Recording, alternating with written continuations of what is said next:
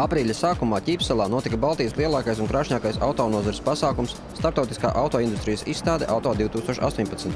Ar gardu kafiju un izdevīgu atlaižu klienta karti visus apmeklētājus priecēja Latvijas nacionālais degvielas tirgotājs Astarte Nafta, kas mazumtirdzniecības un vairumtirdzniecības jomā strādā jau kopš 1991. gada.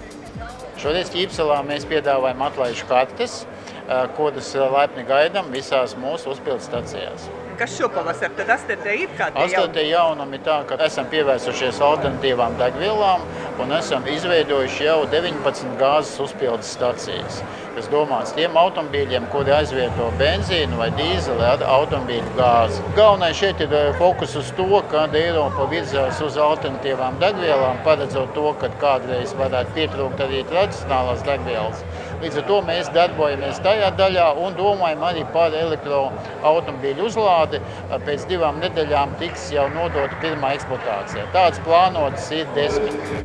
Šobrīd uzņēmumam Astarte Nafta ir 29 degvielas uzpildes stācijas visā Latvijā, galvenokārt Zemgalē. Uzņēmums turpina attīstīties un drīzumā tam pievienosies jauna uzpildes stācija Kurzemē un jau minētās 10 elektroautomobīļu uzlādes stācijas. Jāsaka, ka gads ir iepriekšējais bijis veiksmīgs. Esam viena no lielākajiem nodokļu maksātājiem Zemgalē.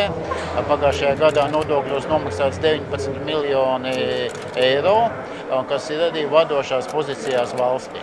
Degvielas uzpildes stācijas, protams, visā valstī ir kļuvušas daudz modernākas, aprīkotas ar ēdināšanu, aprīkotas ar stāvvietām un, protams, ar visu, visu veidu sortimentu degvielām.